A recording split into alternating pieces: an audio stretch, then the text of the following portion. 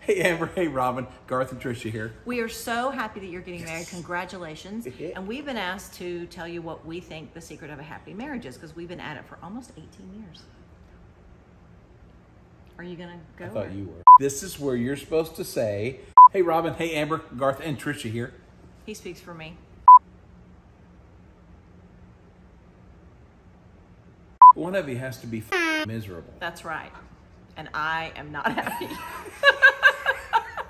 Never go to bed mad at each other. what did you Google that? Mm. Why are you asking us? no know what's the secret to a happy marriage?